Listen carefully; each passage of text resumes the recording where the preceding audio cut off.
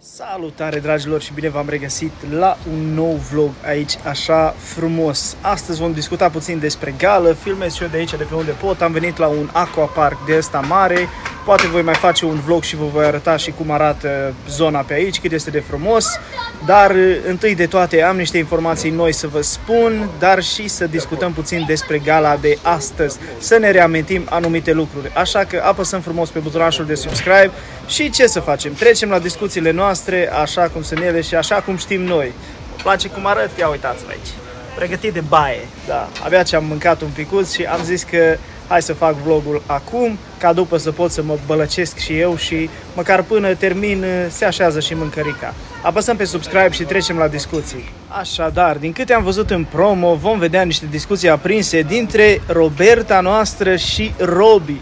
Roberta și Robi, ce potrivire. Roberta sare din nou pentru Sebastian, după ce acesta a umilit-o, a făcut o grămadă de faze. Vedem prin acest lucru că, practic, se reîntoarce la Sebastian, îi ține apărarea. Iar Robi, bineînțeles că îi... Uh, lucrează de la spate pe toți și după râde de ei. Așa a făcut și cu Sebastian de foarte, foarte multe ori.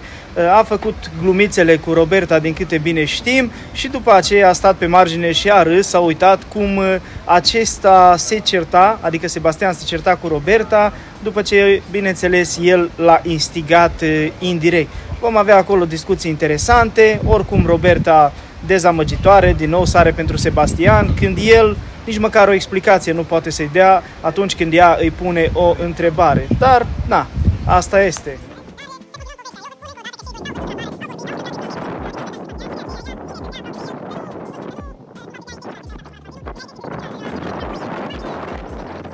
Ia uitați, dragilor, că am să vă arăt un pic și pe aici cu mâini. Imediat o să mă bălăcesc și eu, dar mai întâi de toate, haideți să terminăm vlogul ăsta.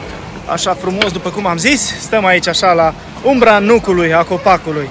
Deci, după cum spuneam, Roberta face toate lucrurile astea pentru Sebastian, nu se poate despărți de el și nu poate să, nu știu, să îl atace sau să facă ceea ce face el pentru că este frică, deoarece eu sunt 100% sigur că cei doi s-au văzut în afară, cei doi uh, au vorbit în afară și se teme că la o ceartă sau uh, la ceva mai aprins, Sebastian o să se spargă, așa o să spun, și o să scoată din el practic uh, tot ceea ce s-a întâmplat și între ei și dacă el nu o să fie fericit, măcar știe că îi descalifică pe amândoi și cu toate cele. Pentru că Sebastian este în stare.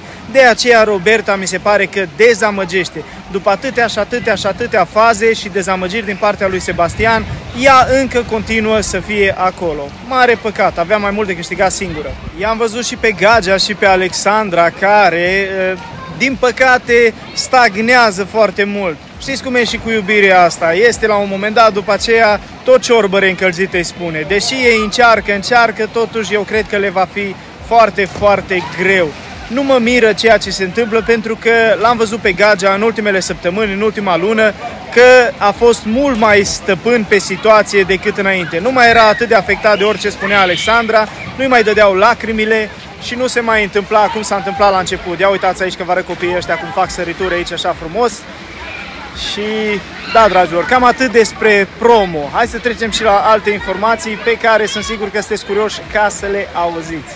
Ca să ne reamintim puțin de ce se va întâmpla în gala de, de, din ziua de azi, uh, băieții o vor vota pe Francesca, cea care își dorește de mult să plece acasă, Fetele îl vor vota pe Robi, care și el s-a cerut acasă, ce să vezi, și bineînțeles favorita publicului, Virginia, pe care am văzut-o activă uh, toată săptămâna asta și și toată săptămâna trecută, câștigătoarea cecului în premieră după 8 luni de zile, îl va vota pe Casian. De ce? Ca să-l salveze pe Robi, despre care spunea zilele trecute că vrea să plece. Chiar și ieri a spus în casă că și-ar dori ca Robi să plece. Atunci, pentru ce l-a propus pe Casian, care este clar că nu avea voturi. Totul este un joc totul este, nu știu, o prefăcătorie, toată lumea joacă teatru, scoate vorbe multe uh, din gură, dar uh, fapte absolut deloc. Și aici Virginia a demonstrat că ea cu Robi au ceva.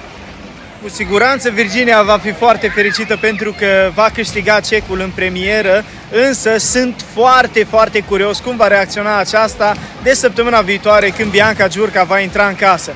Chiar și ieri declara că ea este deschisă și că și-ar dori o cunoaștere cu Patrick, țin minte. că a spus lucrul acesta. Iar acum când toate îi se vor tăia, pentru că în momentul de față deja Patrick este într-o cunoaștere cu Bianca Giurca, sunt foarte curios ce va face aceasta când își va da seama că a fost luată de fraieră, ținută de fraieră, trântită practic în scandalurile cu Robbie până a ajuns acesta să o facă în toate cele din cauza lui Patrick și tot de fraieră pentru că nu a rezolvat absolut nimic cu el până la urmă. Ce va face aceasta? Nu m-ar mira să se reîmpace sau să se reapropie de Robbie. La urma urmei, el este cel cu care după două săptămâni de cunoaștere a plecat la dei de noapte și după aceea știm cu toții faza de la apartament. Sau poate se întoarce la Moldo, că am văzut că mai nou îi dă târcoale.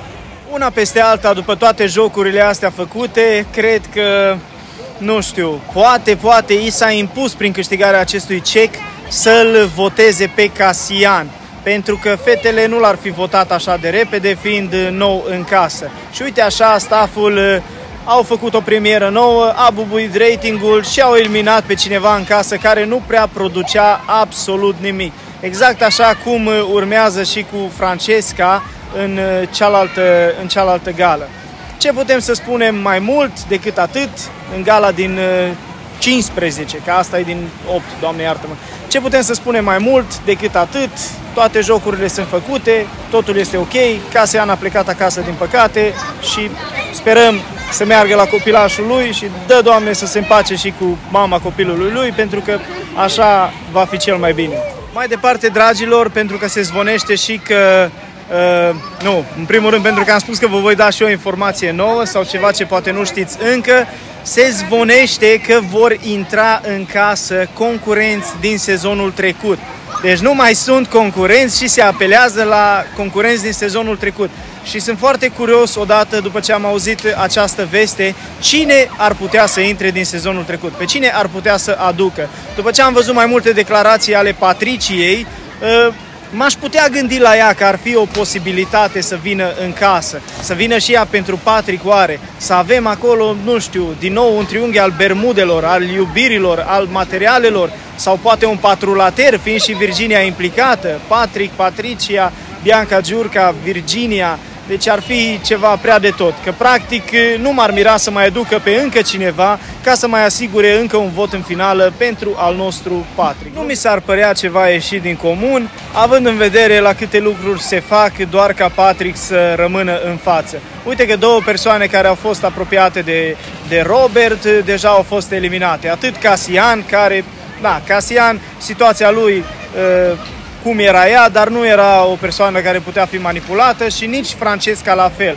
Se țin în casă doar cei din sezonul trecut, care îi vor da vot sigur lui Patrick și, bineînțeles, prietenii acestora, cum uh, ar fi Robbie, Sebastian și Rebecca, Anthony, toți ăștia, Julia.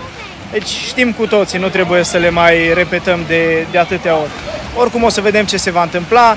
Cam aceasta va fi gala de astăzi. Virginia Cech, eliminat Casian, ne luăm rămas bun și ultima bârfă este că vor intra concurenți din sezonul trecut uh, înapoi în casă.